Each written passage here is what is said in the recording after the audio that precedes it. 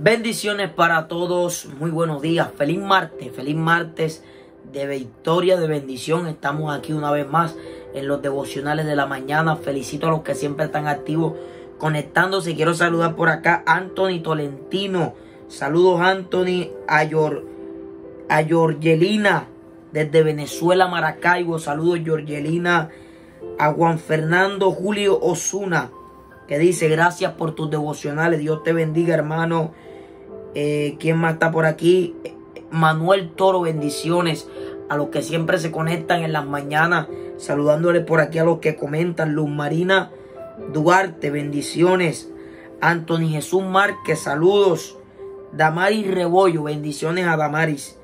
Walter Alarcón, bueno, saludando a Manuel Murga, bendiciones. Desde Guatemala, bueno, aquí no aparece el nombre pero bendiciones para todos los que se conectan. Si me estás siguiendo, quiero saludarte. Desde donde ven mis devocionales, déjame un comentario aquí abajo. Vamos a la parte 2 del tema que dejamos ayer conociendo al Espíritu Santo. Si usted no vio la primera parte, yo le invito a que vea la primera parte para que podamos seguir con la segunda. Y bueno, estábamos hablando Juan 16 y leíamos en la palabra, ¿cierto? Que Jesús habla sobre el Espíritu Santo y los discípulos estaban tristes porque Jesús se iba. Jesús muere, acuérdense que Jesús muere y Jesús iba al Padre nuevamente, resucita. Entonces ellos estaban tristes porque ellos se preguntaban y ahora nosotros con quién nos quedamos. Pero Jesús les dice, a ustedes les conviene que yo me vaya. Y ayer hablábamos en la primera parte de lo que es el Espíritu Santo como consolador. Estamos hablando de eso, pero ahora hay una parte que dice, bueno, el verso 7 dice, os conviene que yo me vaya, o sea, a ustedes les sirve que yo me vaya para que venga el Espíritu Santo, ¿cierto?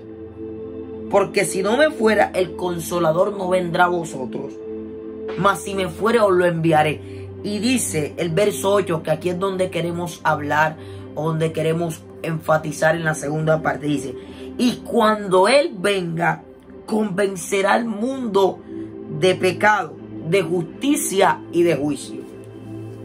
El Espíritu Santo tiene una característica y es que como Él es una persona, Él siente.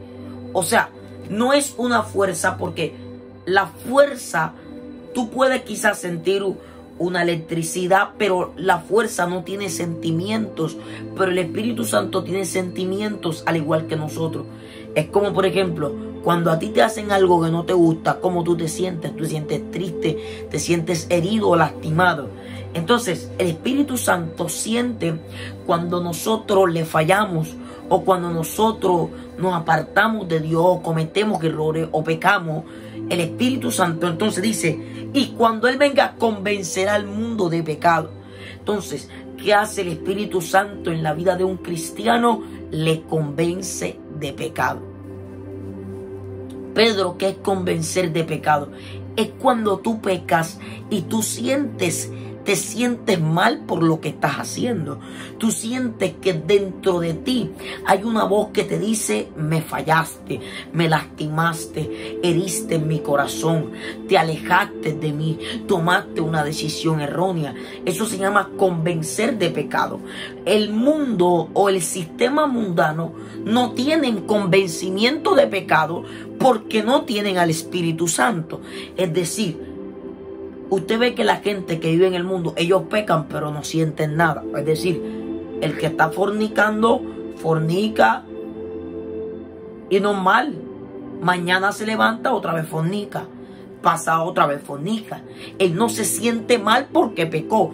Él está en su condición de pecado porque como no tiene al Espíritu Santo, por eso dice, cuando Él venga, convencerá al mundo de pecado. ¿Por qué? Porque cuando tú tienes el Espíritu Santo, tú metes la pata y te sientes mal. ¿Cuántos me están entendiendo? ¿Cuántos aquí se han equivocado? Ah, ¿Le han fallado a Dios en algún momento? A mí me ha pasado. Me he equivocado en algún momento. He tenido una mala actitud. Y tú sientes que el Espíritu Santo te convence tú sientes que algo dentro de ti que no te deja seguir haciendo lo que estás haciendo. Te sientes abrumado. Es una tristeza profunda que entra en tu corazón porque tú le estás fallando a Él. Eso se llama convencimiento de pecado. Que es que, que el Espíritu Santo te está mostrando de que estás mal. Es eso es lo que. Entonces, vemos la diferencia de que el Hijo de Dios, cuando tiene al Espíritu Santo, y nosotros debemos de preocuparnos por tener al Espíritu Santo, porque, mire, vea, usted sabe que es lo feo. O sea, no hay nada más feo que cuando ya tú pecas y no te sientes mal. Y le hablo a la gente que está luchando con algún pecado, el que está luchando por salir del alcohol, el que está luchando por salir de la droga, de la pornografía, de lo que sea. Con lo que tú estés batallando, todos tenemos lucha. Mira, aquí nadie puede decir que no tiene lucha. Todos luchamos con algo, somos débiles. Pero tú tienes que preocuparte cuando tú hagas lo malo y no te sientas mal. Allí tienes que preocuparte porque eso es una señal de que ya en tu vida ya no hay Espíritu Santo. Se fue, hay una ausencia de Dios. Que ya tú logras llevar una vida que desagrada a Dios. Pues como le digo, no le digo que no vayamos a fallar porque en algún momento nos equivocamos, somos humanos. Pero cuando tú tienes el Espíritu Santo y tú fallas contra Dios, tú sientes una tristeza tú te sientes mal. Tú te sientes que le fallaste a Dios. Te sientes en ruinas. Porque, y nadie, quizá nadie te está viendo, nadie sabe lo que tú hiciste, pero dentro de ti, tú sabes que le fallaste al Señor. ¿Cuánto me están entendiendo? Entonces dice, cuando Él venga a convencer al mundo de pecado, de justicia y de juicio, dice, de pecado por cuanto no creen en mí. ¿Cierto? Porque la Biblia dice que todo el que no cree en Jesús es condenado. ¿Cierto? De justicia por cuanto voy al Padre y no beberéis más. Y de juicio por cuanto el príncipe de este mundo ha sido juzgado. Entonces le dice, aún tengo muchas cosas que deciros pero ahora no las podréis sobrellevar. Pero entonces ahora viene la otra parte. Pero cuando venga el Espíritu de verdad, dice el verso 13, pero cuando venga el Espíritu de verdad, Él os guiará a toda verdad, porque no hablará de su propia cuenta, sino que hablará de todo lo que oyere y os hará saber cosas que habrán de venir. El Espíritu de la verdad os guiará. Entonces, otra de las funciones del Espíritu Santo es guiar nuestra vida. Él se convierte en un guía para la vida del creyente, del cristiano. Y el Espíritu Santo como guía te muestra el camino por el cual tú debes de andar, por el cual tú debes de tomar.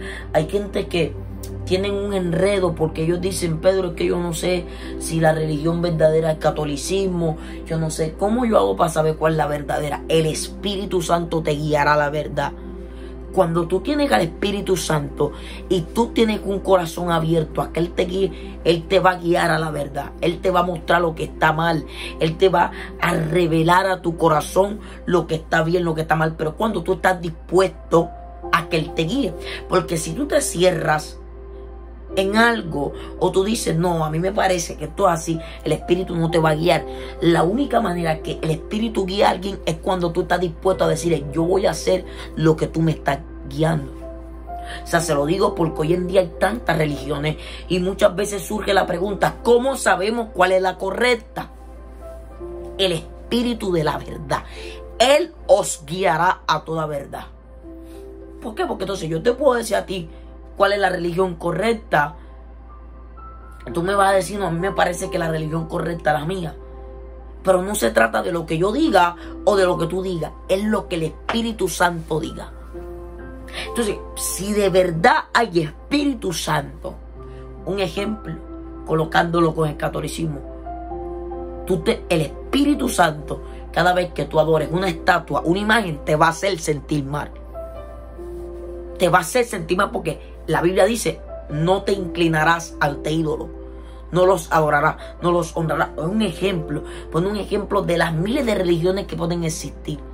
Entonces el Espíritu me guía a saber cuál es el camino correcto, cuál es a dónde tengo que ir, qué Dios tiene para mi vida, una decisión de un negocio, una decisión de algo que voy a hacer, una decisión crucial en mi vida, en mi familia, en mi casa. El Espíritu de la verdad os guiará toda verdad. Pero Dios no te va a guiar si ya tú en tu corazón tomaste una decisión. Si en tu corazón tú dices, yo voy a hacer esto, Dios no te va a guiar. Dios te guía cuando tú le dices, yo voy a hacer lo que tú me estás diciendo que yo. Dios te muestra, te revela un sueño, Dios te muestra el camino y el Espíritu Santo se convierte en un guía para ti. Entonces, cuando entendemos todo esto que les acabo de decir, nos damos cuenta que el Espíritu Santo es una persona. Número uno, nos consuela, es decir, Él sabe lo que sentimos. Número dos, nos habla de nuestros errores, nos convence, nos dice qué cosas tenemos que cambiar, que está mal en nosotros. Y la otra, ¿cuál es? Nos guía. No solamente que te va a corregir de tu error, sino que te va a decir, ven que te quiero llevar por aquí. Ven que te quiero mostrar el camino por el cual tienes que andar. El Espíritu Santo es la persona más linda que podemos conocer. Y por eso es que cada día debemos tener una comunión, una relación con Él. Pedro, ¿cómo puedo tener una relación con el Espíritu Santo? Como tú hablas con una persona. No, no se trata de tanto parapeto, de tanto... No, no, no. Habla con Él. Espíritu Santo, te necesito. Espíritu Santo, no te quiero fallar. Espíritu Santo, guíame en el camino. Espíritu Santo, muéstrame el sendero. Muéstrame la luz del camino por el cual yo tengo que ser guiado. Yo quiero ser transformado por ti. Yo quiero ser iluminado por ti. El Espíritu Santo lo va a hacer en tu vida. Él guiará toda verdad. Porque tomará de lo mío y los hará saber. El Espíritu Santo no es una fuerza, no es alguien más. Diga conmigo, el Espíritu Santo es Dios mismo. Escríbalo ahí abajo, el Espíritu Santo es Dios mismo. Que Dios te bendiga. Espero que esta enseñanza haya sido edificación para ti. ¿Cómo hago para saber cuál es la voluntad de Dios? Deja que el Espíritu Santo te guíe. Padre, declaro tu poder, tu presencia obrando en cada vida. Declaro que tu mano poderosa se extiende para salvar y para ayudarnos. Y declaro que cada día tú nos ayudas a amarte, Espíritu Santo. Ayúdanos a amarte, a honrarte y a valorarte. En el nombre de Jesús. Amén y amén. Bendiciones, que tengan una feliz mañana. Que el Espíritu Santo te cubra y te guarde. Amén. Nos vemos. Un abrazo para todos.